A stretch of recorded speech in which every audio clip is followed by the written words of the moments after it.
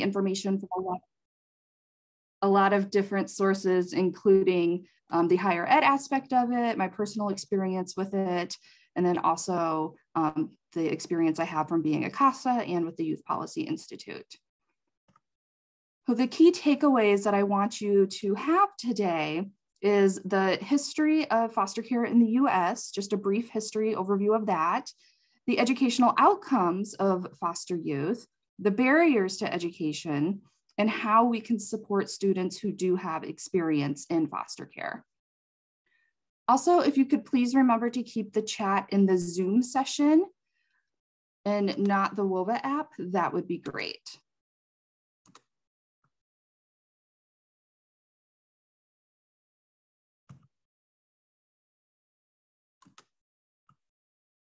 All right, I have a couple disclaimers before we get started here. The presentation and some of the content is going to discuss the harsh treatment experienced by children of color in the United States. And so I just want to acknowledge that it could be emotionally disturbing to some people. It could stir up some memories or just um, bad feelings. So if you need to mute or step away from the computer at any time, that is perfectly acceptable. I also want to give a disclaimer on the challenges of data in the foster care system. So different agencies use different verbiage to describe races and ethnicities. For the purposes of today's presentation, Black and African American will be used synonymously, as well as American Indian and Native Alaskan, as well as Hispanic and Latino, and Asian and Native Hawaiian because there is no federal foster care system, it's all divided up between the states. Um, they don't always use the same terms exactly. And so sometimes the data doesn't align um, perfectly, but we do our best to still get the results across that the studies are trying to show. Also, each state defines foster care differently, as well as individual studies. So foster youth can mean a lot of different things. For example, it could mean that they aged out of their foster care system at age 18, or some states, they have extended foster care to age 21. It could also be that the child has spent any amount of time in foster care at any age. So maybe they were in foster care at age 10, but they weren't at age 18, but they were still included in the study. There could also be kinship care. So kinship care is when a child is removed from their home. However, they get to go live with relatives or close family friends instead of a foster home, which is generally strangers to the child. Uh, grandparents are kinship care a lot of the times, they fulfill that role. So the first bit of information I wanna show you is the current landscape of the US foster care systems. So some racial and ethnic groups are underrepresented. For example, the Hispanic and Latino identity group, you can see the red bar there for the national foster care system. And then the blue bar there is for the general population. The gray bar is Iowa foster care and the yellow is the Iowa general population. And so looking at the chart, we can see that the general population bars are higher, which means they are underrepresented in the foster care system at both the national and state levels. Now, there are some states, I believe last time I looked, it was six states where the Hispanic and Latino identity is overrepresented, but in the majority of states and averaged nationally, they are underrepresented. The next group is the Asian and Native Hawaiian population. They are definitely underrepresented in the foster care industry. In fact, they are the least likely to be entered into foster care of all ethnic groups. And then lastly, we have the white population, which makes up 50% of our general population and about 76% of the Iowa population. And so they are underrepresented because their foster care percentages do not match. So naturally, if there's underrepresented groups, there are going to be overrepresented groups. Here, the bars are reversed. we can see that the American Indian Native Alaskan group has higher bars in both the national foster care versus the general population bars and the Iowa foster care versus the Iowa population bars. At least in the foster care industry, we don't have very good data on what it means when you select two or more races as the children go into the system. And so we can't talk too much about what this means other than we just know that if you are more than one race, you are overrepresented. And lastly, the Black and African American group is clearly overrepresented in the national and Iowa foster care systems. The most likely group to go into foster care is the American Indian and Native Alaskan. They have about 13 of every 1,000 children into the system. So we're going to talk very briefly about the early origins of foster care. So how did we get to where we were today? So it goes back into some of the earliest documentations that we have. it goes all the way back to the Old Testament, the Talmud, and early Christian church records. So we've been taking care of other people's children for a very long time. Um, in the early Christian church records, they would even refer to the children, the, the adults that the children were boarded with were called worthy widows. It was the English Poor Law, however, that led to the development and the eventual regulation of family foster care in the United States. In 1562, these laws allowed the placement of poor children into indentured service until they became of age, which today is 18. This practice was imported to the United States and was the beginning of placing children into homes. In 1636, Less than 30 years after the Jamestown colony was founded, Benjamin Eaton became the nation's first foster child, and he was only seven years old. And then in 1853, Charles Loring Brace, he began the free foster home movement. He was a minister and director of the New York Children's Aid Society. He was concerned about the large number of immigrant children sleeping in the streets of New York. So he devised a plan to provide them homes by advertising to the south and to the west. And they essentially put them on a train. They're known as the orphan trains. And they relocated them to other parts of the country. In many cases, these children were placed in circumstances similar to indentured servants. They were expected to work for the family in exchange for housing, basically. However, that is not what it's supposed to be today, but Brace's um, plan, it did become the foundation for the foster care movement as it exists today. In 1909, this was the first time that our federal government recognized the foster care systems happening in the states, and President Roosevelt gave the first White House conference on foster children. So now we're going to talk specifically about the Black and Native American history of foster care in the United States while slavery was not in any way meant to resemble foster care, we also cannot ignore the similarities. Slavery and foster care can elicit similar feelings as they both involve the government forcibly taking and separating Black children from their mothers and their families. Some scholars and researchers acknowledge this because of the similarities, whereas other people, they do not associate them together whatsoever. In terms of modern day foster care, uh, the treatment of Black and African American children has been marked by racism, manifested in inequitable policies and inadequate services. The first orphanage, as they were called back then, officially opened in 1729, but children of color were not included. Following the Civil War in 1968 and emancipation, creation of the Freedmen's Bureau was to facilitate the reunification and families separated by slavery. However, many people suggest that there were no actual reunifications or promises to strengthen the family life for the child.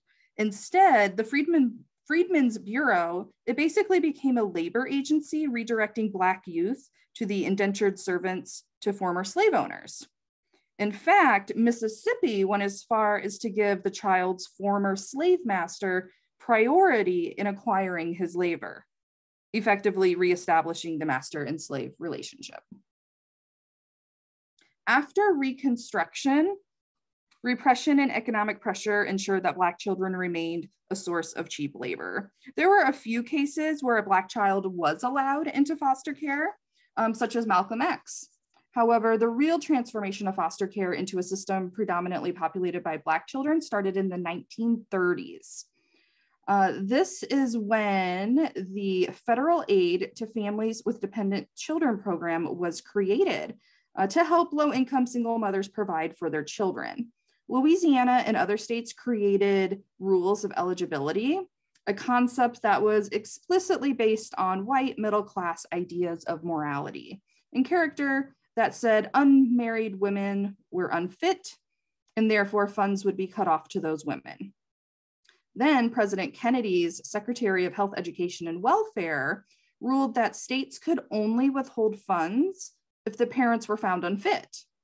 So they would find the mothers unfit because they're not married, and then they would have to remove them from the home because they were determined to be unfit. During the 1940s and 50s, children of color were removed from their families at a rate three times as high as their proportion in the general population. In the 1960s, Louisiana cut off 23,000 children from aid over the course of just three months. 95% of those 23,000 children were Black and or African American. Since 23,000 children being removed from their homes at once would have been a huge financial strain on the government, Congress responded by allowing those aid funds to be used to offset the cost. So now, instead of giving the federal funds to the single Black mothers, the government opted to spend those funds to remove the children from the home instead. The real purpose of the policies was not to improve child well being, but to remove families from the cash assistance programs. Many families did not even apply for these funds because they realized their children would be taken away if they did. So now that they knew that they couldn't apply for these funds anymore, the government had to think of a new way to remove children. So in 1974, our government passed the Child Abuse Prevention and Treatment Act. So it funded services to prevent and address child maltreatment and required states to set up reporting and investigation systems.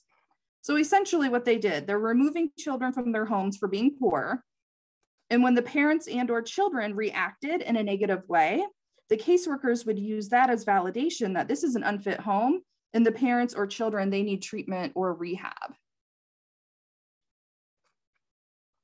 There's a lot of literature out there that looks towards the AIDS and crack cocaine epidemics as principal causes of the increase in foster care caseloads during 1985 to about the 2000 area.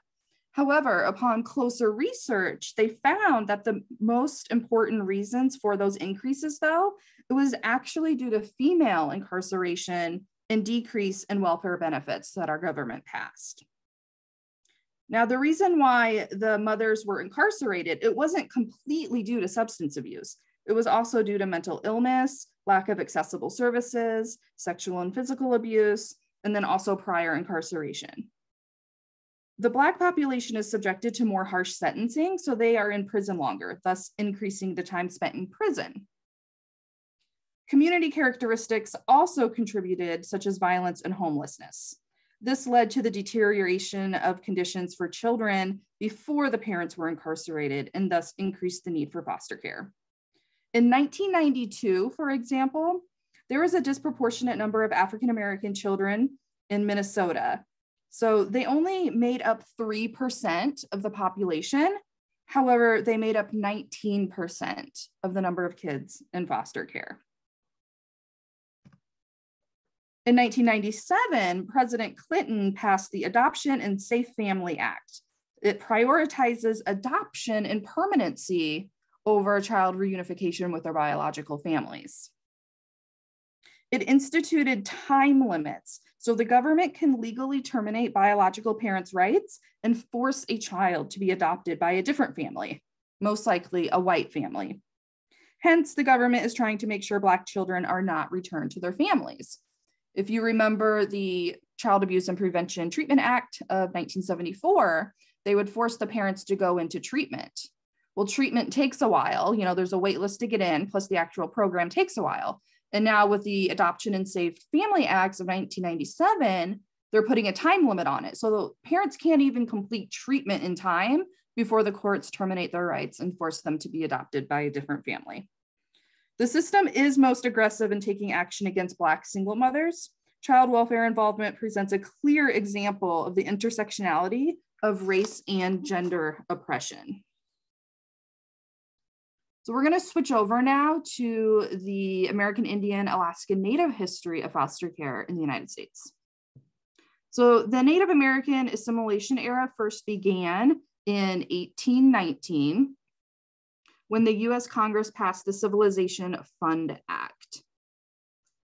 The passing of this act eventually led to the creation of federally funded Native American boarding schools and initiated the beginning of the Indian boarding school era. The duration of this era ran from 1860 until about 1978. Approximately 357 boarding schools operated across 30 states and both on and off reservations, and they housed over 60,000 Native children. Several forms of resistance were performed in response to having their children pulled out of their homes and forced to attend these schools. Sometimes entire villages refusing to enroll their children in the boarding schools, they would coordinate mass withdrawals as well as encouraging their children to run away from the schools. Indian agents, as they were called, these were individuals hired to interact with the Native communities on behalf of the US government, they would retaliate by withholding food and supplies to their communities. These agents were also responsible for taking children from their families and their homes until the boarding schools were filled to capacity. In 1958, the Indian boarding schools, they were starting to wane a little bit. So the Bureau of Indian Affairs created the Indian Adoption Project. When the Bureau of Indian Affairs started the project, it enlisted social workers to visit the reservations and convince the parents to sign away their rights in a way to assimilate these children into civilization, they said. The government believed adoption was the best option for dealing with the perennial Indian problem, as they called it. By 1960, one in four Native children were living apart from their family. In 1978, the Native people fought for the Indian Child Welfare Act. It's called ICWA, it's more commonly referred as. And this gives tribes and Native parents the right to intervene in child welfare cases involving Indian children. It also gives the Native Americans priority in adoption. Because white people were removing Indian children simply because they thought white culture was better, ICWA mandates and enforce that a Native American be removed from their home, that they must be placed with a Native American family, friends, or foster parents before being placed in a white home for foster care or adoption. However, in a recent case, the US Supreme Court has began to roll back ICWA. They held that a non-custodial Cherokee father could not prevent his daughter from being adopted by a white couple. The court said that some children might lose the benefit of being adopted by a white couple if ICWA was not weakened. This builds on a long genocidal history of removal and placement in Indian boarding schools on the assumption that it was necessary to separate the children from their families and communities in order to integrate them into a white civilization. And then the same thing with that Adoption and Safe Family Acts that President Clinton passed in 1997. It puts time limits on how long a child can be in foster care before they are forced to be adopted. And so they just cut them off when the time limit is up and then they're free to be adopted. And if there's no Native American foster families available, then they can be adopted into a white family quicker. Well, that's a lot of history that we covered. So obviously I didn't cover everything because there's so much of it. Um, but if you're interested in learning more about it, I highly recommend this book, Taking Children, A History of American Terror by Laura Briggs.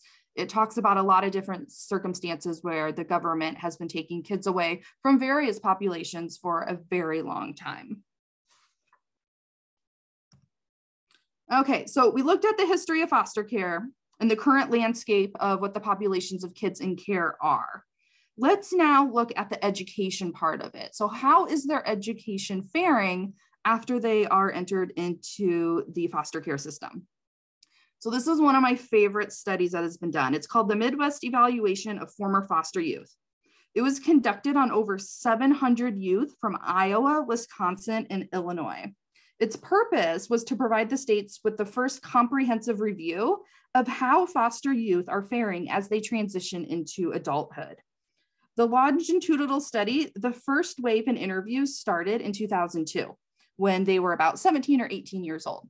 And so after that, every two years, they would interview the same students, children who are now transitioning into adults. And they would ask them the same questions and see how they were doing.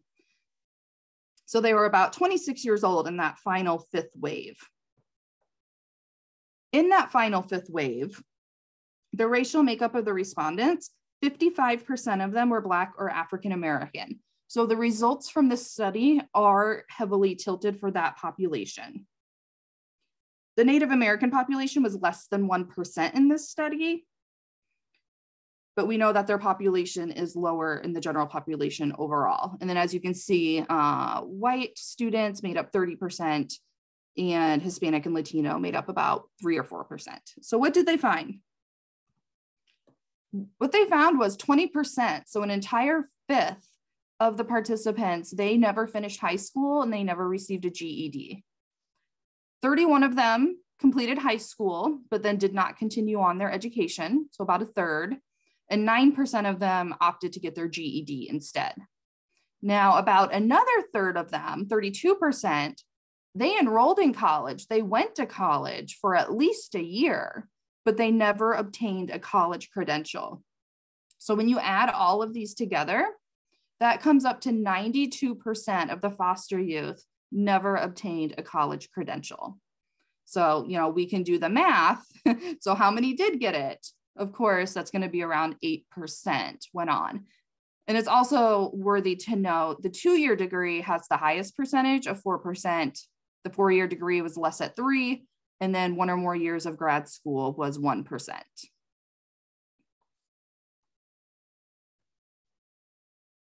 So how does this play against the general population? So I took the Midwest study and then I paired it up with the general population. I took the US Census numbers. So the general population, they also had numbers for the Black general population. However, they did not have data for the Native American, Alaskan Native um, population. So that's why that's not on here. But if we look at the red line, which represents the foster youth in the Midwest study, we can see that they're achieving higher than the other groups when they're maxing out at no high school or GED or maxing out at high school or GED. Now, those aren't races we really want to be winning because that means we're maxing out early. We don't want that to be their peak. And then you can see after high school, the red line, it inverses, right? It now becomes the lowest achievement. You know, hardly any of these students are getting the two year degree, the four year degree, and the graduate degree. Meanwhile, the general population, they are achieving those degrees at a higher level. So the foster youth are clearly not achieving college degrees at the rate of the general population. Okay, so what about Iowa? Like, sure, Iowa was included in that Midwest study, but do we have any data there? And we do. So if we look specifically at this, we are great at graduating from high school and or getting their GED. You know, nationally, about 69% of foster youth achieve that. The Midwest study, 72% of them had. And in Iowa, we're up to 78%. So yeah, we do a really good job for that. But what about the college credentials? Is it the same? Are we doing great? We are not. Uh, national studies, it really varies. It, it's anywhere from like 1% to 12%. Um, I, I used seven from the study I was looking at to complete this. And then that Midwest study told us 8% of them completed college. And then you look at Iowa and our data, it's only 4%. And I would like to say about that 4%, they're also including just credentials. So, like a certificate, not even a college degree. So, that 4% very well could be an inflated number. I went back, uh, this data is from 2021. So I went back and I looked at 2019 and 2017, and the completion rate for college in Iowa for those two years was 1%. So, no, we're not doing very good. So, thinking back to the Midwest study, there was that 32% of students who, you know, graduated high school or got their GED and they actually went on to college. They enrolled and they attended. So, what happened there? Why did this 32% in the Midwest study, and then only 8% of them ended up graduating from college. Well, I do not have the data from the Midwest study, but I do have data from Iowa. So, Iowa College Aid, it's our state representative that distributes our ETV grant. That's our educational training voucher. And this is a grant for foster youth who were either adopted after age 16 out of foster care or they aged out at age 18. So Iowa College Aid distributes scholarships to these students to help pay for their tuition. And so they gave me some really helpful data to share with you. So we can see in that first year, so the years are at the bottom there. They started in the 2012, 2013 school year, and it goes forward from there. So we can see that we have about between 150 and you know 225 students enrolling in that first year and so and this was over several years. And so okay so that's how many started. But then what happens? By their second year enrollment just plummets about 50% they don't make it to that second year. And so that's a that's a huge dip. It's a huge problem. Obviously, something's not working. And then you can see to the third year, it plummets about 50% of who was left, and then about 50% the next year. I mean, that's the general trend. Every semester, it just gets lower and lower and lower. Now, sure, we can assume that some students graduated after two years if they went to a two year school, and then maybe some after four years, and maybe some graduated after five. Right. There were some, but we know with the graduation rate of one to 4% in Iowa, that's not happening very often. Um, these students just, they're not making it. Iowa State does not track foster youth and their success rates, but national studies have shown that while foster youth attend two-year schools more frequently, they are actually retained better at four-year colleges and universities. There is a study in California that looked at this same thing.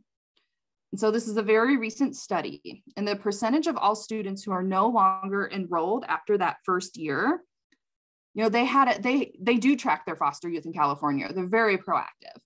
And yeah, they're tied for second to last place. 45% of the foster youth in California didn't make it past their first year either.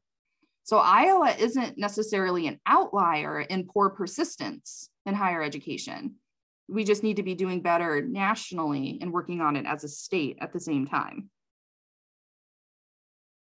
So what's leading to all of these foster youth not making it I mean to graduation, but let alone to their second year? So let's look at some of those factors. First of all, lack of academic preparedness.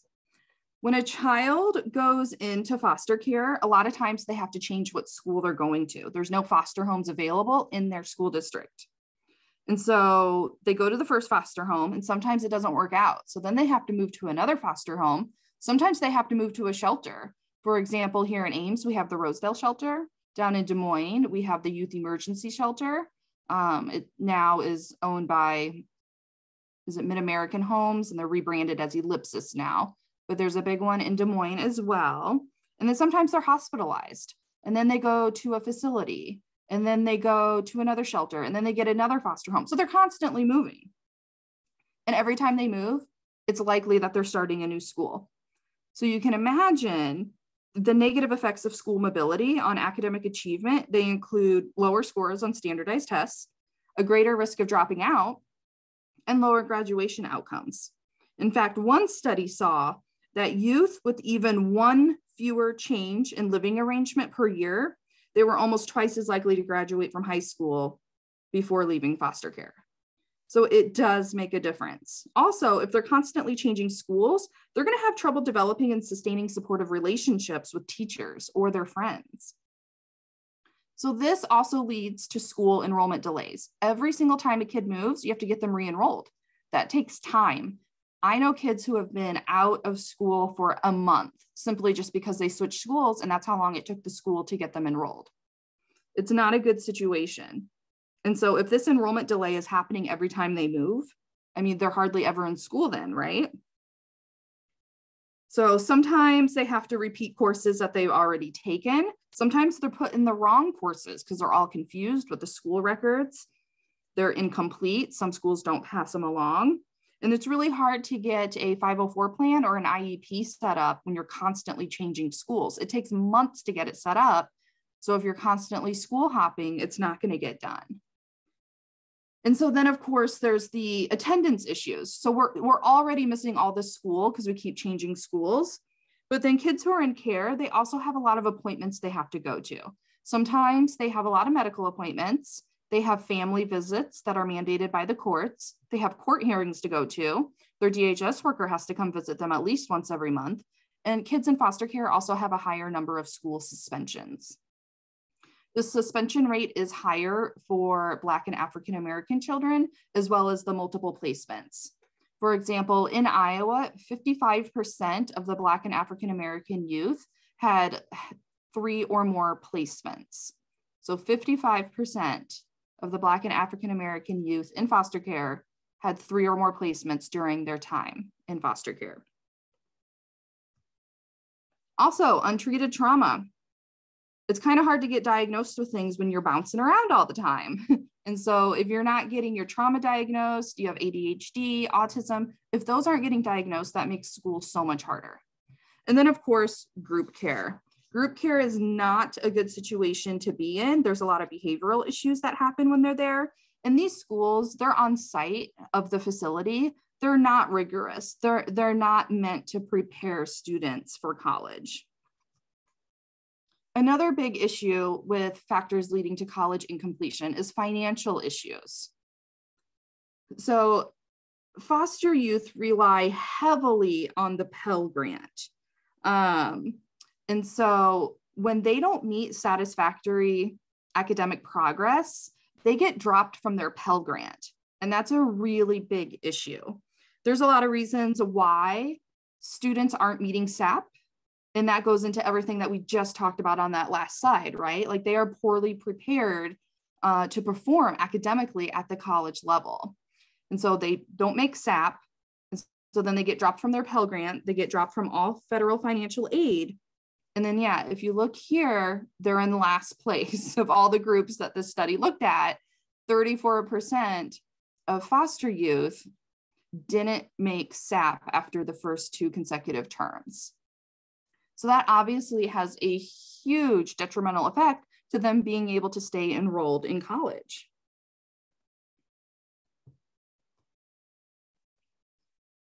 Some other issues, they have no family support, right? Whether it's their biological family, whether it's one of the foster families they lived with, that's not there. They don't have anyone to call. They don't, they need a pep talk and they don't have anyone to call to give them that pep talk. They do well on an exam. They don't have anyone to call. Everyone's getting care packages during prep week, but they're not, and they notice that. They also identified racial and ethnic stereotyping on campus as a reason why they didn't feel they fit in. Housing concerns.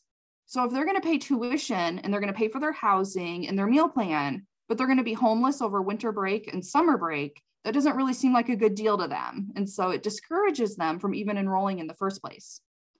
Pregnancy and childcare 70% of females who age out of foster care are pregnant by age 21. So seven out of 10 of them are going to have a baby. And so if they're enrolling in college, obviously childcare becomes a huge issue. And then transportation. How are they even going to get to college? Think about the rural areas in Iowa. Um, to get to your nearest public four year institution, I mean, that could be hours away. I know mine is. I'm a couple hours away from Ames. And so I would have no way of gotten there if I didn't have someone to give me a ride.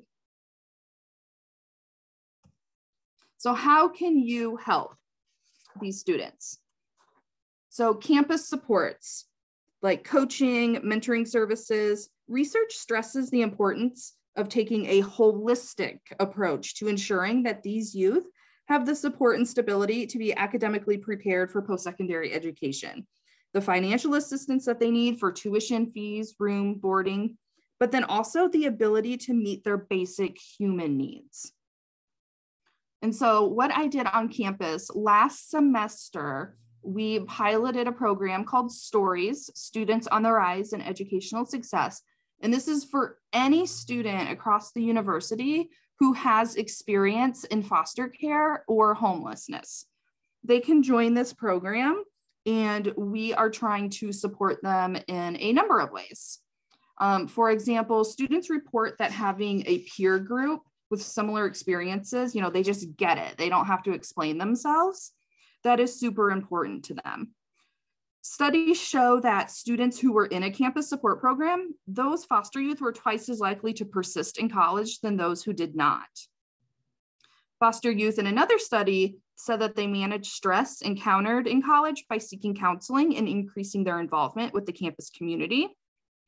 They report not having their basic needs met, and so that affected their educational goal setting. You know, if you're hungry and you can't eat, you're not going to be able to focus on studying for that exam coming up. In one study, 30 former foster youth um, were interviewed about the benefits of campus resources programs. And they said that one of the best parts of the program were the relational aspects, noting that the non tangible benefits that they received from the program so, you know, emotional support, sense of belonging, that was the most important thing to them. And that is what the Stories program is trying to do. As far as meeting basic needs, we did an Amazon wish list for um, the winter holidays, and it was a huge success. So many people donated, um, you know, clothes, boots to these students who were asking for it on their wish list. We also so I'm there for the program, but then also the other students in the program, they're there to be emotionally supportive to one another. We like to fast track them to resources. They can come to me and say, This is the problem I'm dealing with. Like, who do I go to for this? How can I get help? And I can directly connect them to them. And we're also aspiring to be financially supportive. Um, just this week, actually, a couple days ago, I had to add this to the presentation. The foundation got our donation page up. So it is officially up and running. And so hopefully we can start providing financial support to these students as well. So there's lots of ways to help on campus. Get in touch with me if you have some ideas or anything that you want to contribute, and we can definitely explore those options. How can you support your community? How can you support the foster youth in your own community, whether that's Ames, Ankeny, Des Moines? Well, I always tell people you can sign up to be a foster parent. Go to fouroaks.org you can find all the information on how you can sign up.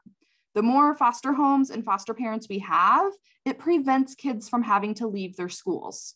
For example, the Des Moines district, they do not have foster parents that like to take teens. So all the teens get exported out of Des Moines, such as at my house. And so then when a child from Ames goes into care, I don't have any beds open. And so now that kid from Ames has to go somewhere else. It, it just snowballs. It's a domino effect. There's not enough homes and enough communities. So they're leaving their schools, they're they're leaving their therapist if they already had one, you know, they're leaving their teachers, all their supports and getting transported into a completely new environment during a very traumatizing time in their life being separated from parents and siblings. Another thing you can do is advocate. Call your state representative to support extending foster care to 21. We have tried several times now to get this law passed. We have studies that show they do better and they graduate from college at higher rates if foster care and supports are extended to 21. It has never passed before, but we're trying again this year. Um, DHS is in on that. AMP, YSS, all these organizations are pulling together to try to get it passed. So call your local representative and tell them it needs to pass. You can also become a CASA. I was a CASA before I became a foster parent because I wanted to learn more about it. It's a court appointed special advocate. You get assigned to a case and you basically get to be an investigator. You get to talk to all parties in the case. You make a report for the court and you get lots and lots of training um, prior to being on the case. So um, you learn about what to do and how it's helpful and what things to look for. So that's another great way that you can advocate and help the foster youth in your community. Okay, so that concludes my presentation. I wanted to leave a little bit of time at the end, so I'm glad I did finish a little bit early. Uh, so if anyone has any questions, any thoughts or ideas that they wanted to share with the group.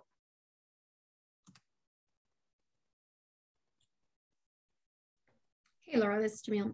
There are no questions in the chat right now. There's just a ton of comments. Um, thank you for sharing the information. Um, folks are talking about their own situations. Um, somebody mentioned that their kiddo's casa was a lifesaver. Uh, and as the caseworkers changed, that the casa stayed with them. So that's really great. Um, but folks, if you have questions, feel free to put them on the Zoom chat, preferably, but I am watching both the Whova chat and the Zoom chat so I can get them to voice them out. Yes, Susan, your comment about in Texas, yeah, they mm. they're doing some crazy stuff down there. They're cons- if your children is identifying as transgender, they're saying that that's abuse. Like you must have done something to your kid to make them that way. And right, they are threatening taking transgender kids away from their biological parents and putting them in foster homes.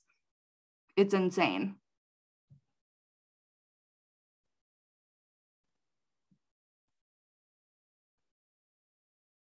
And Sarah, yes, the caseworkers change all the time, right? That the turnover of social workers in Iowa is huge.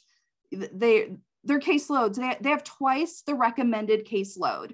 And so they have all these kids they need to meet with each month, and they don't get to them each month. Um, I have a child right now, their worker never came out in February. And I'm not even that mad at the worker because I know their job is impossible with all the court hearings they have to go to and everything. So, but yeah, the CASA stays with the case. The caseworkers don't, sometimes the lawyers don't, the guardian ad litems don't, but yeah, the CASA does. So that's really great.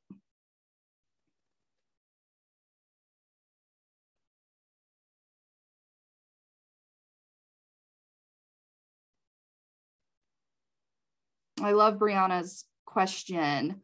Um, specific Iowa State things that we can do or change. Yeah, we need to be a more foster friendly campus, is what I like to say um, the Department of Residence made a change last year because winter break is now longer. The residence halls are now open over winter break. And while foster youth had no impact on why they changed that policy, I'm very happy that they did because that resolves a big problem for a lot of foster youth.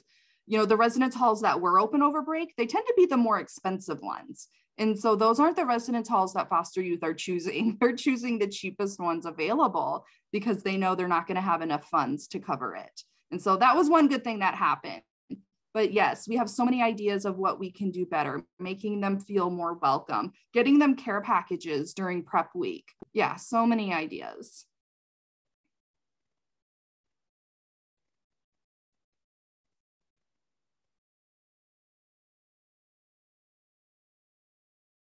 As for Kate asking about sharing the wish list, it did get advertised in a few places. It was in Inside Iowa State. It was very small. It was at the bottom, um, but it was there. We also um, we advertised it in the Human Sciences um, newsletter that goes out to faculty and staff, and I believe some other colleges um, we're going to try to get it in their newsletters as well. Um, we will definitely be doing it again next year. It was a huge hit. I also want to do one right before the school year starts in August, like a back to school um, don- donation fund, because school supplies are expensive. Um, I have a practicum student, Jada Baumhover. She is amazing, and she is in talks with companies right now to see if we can get any companies to donate their recycled laptops when they're done with them. Um, for example, she's in talks right now with a company. They recycle their laptops every four years you know, those laptops still work. There's nothing wrong with them. And so we're trying to get them donated so we can then hand them out to our students. They either don't have a laptop or they can save their money and spend it towards other basic needs because we can provide a laptop for them. So, yeah, we have lots of aspirational things that we want to do. Laura, a quick one for you. Uh, someone just mentioned about sending the wish list to DOR, but also to affinity groups on campus. I may also suggest um, EO, Equal Opportunity, has a newsletter that goes out throughout campus. That's a great Maybe idea. Maybe that's another space to put it in. That's um, you, I think idea. there was a question that got missed. Um, Sally uh, asked, uh, how would one become uh, go about becoming a CASA? Yes, yes. Okay. So um, the Iowa Child Advocacy Board, that is who owns the CASA program. So I would definitely Google them, get on their website, and the contact information is on there. Not every county has CASAs. Um, there was huge budget cuts a few years ago, and like half the CASAs got cut. It's terrible. And so I know that there is a need out there, and definitely check it out if you're thinking about it. Thank you for that link, Sarah. Ooh, Charles, I like that question. Do caseworkers have a financial motivation to ensure that more kids are placed in foster care? They do not. I mean, you kind of would think that they do after this presentation, right? But no, no, they do not. They just have um, certain, their own biases, for example. Um, there have been certain political pushes in Iowa to keep kids in their homes. That is something that's been happening a lot. I know DHS has been trying very, very hard to keep kids in their homes. Um, it, I wouldn't want to be in that position where I had to make that determination if a kid stays in their home or they get removed. You know, hindsight's 2020. But yeah, I do know for sure that they are trying their best to keep them in their homes. But yeah, sometimes our implicit biases, they're just they're too strong and we might judge a person of color more harshly than we would a white person for doing the exact same kind of parenting or even a criminal offense. Like I said in the presentation, you know, the prison sentences are longer for people of color.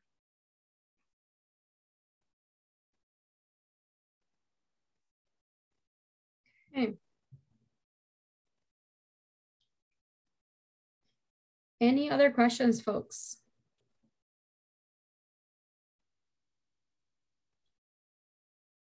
Okay. Well, I would like to thank Laura for this presentation. Very insightful, Laura. Um, the next thing is the keynote speaker um, here at three o'clock. So find it on the agenda and make sure you join over there if you're still with us. Thanks for joining and thank you, Laura. Thanks, everyone. Feel free to reach out with me if you have any questions or ideas. Perfect. Thank you.